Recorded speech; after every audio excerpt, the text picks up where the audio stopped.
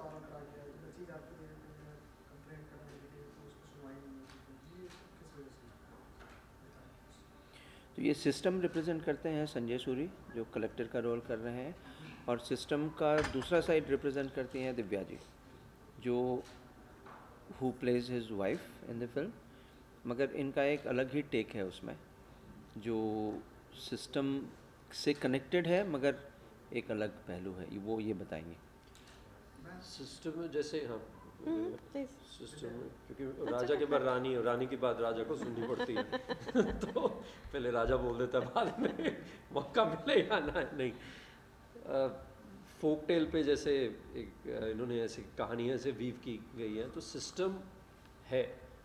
System की priority नहीं है ये चीज़। वो जब लड़की आती है सिस्टम के पास तो नज़रअंदाज कर दिया जाता है। हाँ ठीक है। limitation है वो देख लेंगे और अपने रोज़ के कामों में लगे रहते हैं। तो वो प्रायोरिटी नहीं है। जब तक उनकी पर्सनल ज़िंदगी में कुछ ऐसा हादसा नहीं होता तो वो सेंसिटाइज खुद नहीं होते। सो सिस्टम भी आपको कभी कभी मजबूर कर देता है एक रास्ता चुनने के लिए। तो अगर आप उसमें लगे रहते हैं संघर्ष करते रहते हैं जो ये लड़की करती है और इसकी विक्ट्री भी होती है। लेकिन कहीं ना कहीं सिस्टम अगर आपको अम, रास्ता नहीं दिखाता तो आप बहक जाते हैं बहक जाते हैं। लकीली फिर रानी के पास जाती हैं। रानी कोशिश करके संभाल लेती है सिचुएशन आगे Divya. I think you the हाँ, question. उससे पहले मैं जस्ट कॉन्टेक्स्ट एक आई थिंक वो- बता देता हूँ हाँ कि ये एक अ, ये ये एक बहुत ही, ये कॉजबेस तो मूवी है, मगर बहुत ही एंटरटेनिंग तरह से हम लोगों ने कहा है कहानी को। और ये कहानी है जो एक फोक फोक स्टोरी बहुत सारे लोगों ने, आप लोगों ने सुना होगा कि एक खजन चिड़िया की कहानी है, जिसे फ़िल्म में सुनिधि चौहान ने गाया है और उसको लेकर के एक वो फोक स्टोरी फिर से सब में आ रही है कि एक चिड़िया जो है बहुत वो, उसका दाना गिर जाता है खुट्टे में और फिर वो बढ़ई के पास जाती है कि बड़े बड़े खुट्टा चिरो, खुट्टा खुट्टा में दाल है, का खाई का पीही का लेके परदेश जाए।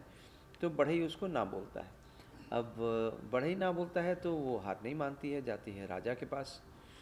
राजा भी बोल देता है ना, फिर जाती है रानी के पास कि रानी रानी रानी, राजा समझाओ राजा राजा न बढ़ई डांटे बढ़ई न खुट्टा छिले और ये का खाई का पी का लेके परदेश जाएँ। वो रेफरेन है और ये चेन बढ़ते जाता है। रानी के बाद सांप के पास कि रानी डसो रानी फिर उसके बाद लाठी के पास। लाठी के पास कि सांप मारो सांप फिर आग के पास कि लाठी जलाओ फिर समंदर के पास कि आग बुझाओ। आग बुझाओ और फिर हाथी के पास कि समंदर सोखो अब समंदर सोखने के लिए हाथी बहुत छोटा है हाथी अपने मगर हाथी के पास हिम्मत है तो एक सूंड भी सोख सकता है तो बोलता है चलो तो कहानी वहाँ से टर्न होती है और फिर समंदर बोलता है नहीं नहीं मुझे कुछ मत करो मैं आग को बुझा दूँगा, आग बोलता है, मैं लाठी जला दूँगा, आग, लाठी बोलता है, मैं सांप मारूँगा, सांप रानी डसूँगा रानी राजा।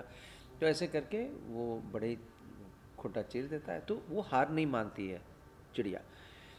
तो ये एक कहानी, उसका बेड टाइम स्टोरी था उसके भाई के लिए तो जब भाई उसका गुम जाता है सिस्टम में, ये जो एक चाइल्ड लेबर का सिस्टम है उसमें तो उसको ढूँढने के लिए वो जिस तरह से मिठाई वाले, चाय वाले, रिक्शे वाले कलेक्टर कलेक्टर की वाइफ जर्नलिस्ट जो तनिष्ठा प्ले कर रही है एक्टिविस्ट जो बमन ईरानी प्ले कर रहे हैं। ये प्लस पुलिस जुडिशरी ये सब जिस तरह से मिलती है, वो ये कहानी का पैरेलल है। तो उसमें ये राजा प्ले कर रहे हैं क्योंकि उसके दिमाग में वो पूछती है कि राजा कौन है? तो कोई उसको बता देता है कि राजा तो कलेक्टर है।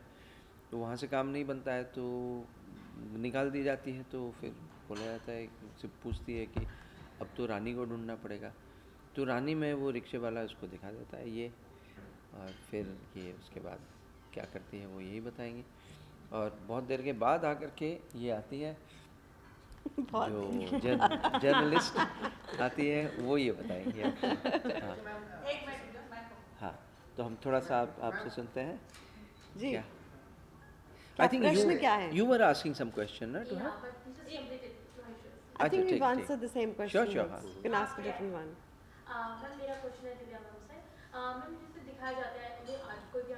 जैसे लेकिन जैसे बच्चे छोटे छोटे बच्चे हैं जो अभी भी सड़कों पे भीख मांगते हैं और कुछ देखते हैं लेकिन कुछ लोगों की सोच ये होती है जैसे कभी कोई होता है कि हम पैसे नहीं देंगे कुछ खिला देंगे लेकिन जैसे होता है कि आप बच्चों से बोले कि आप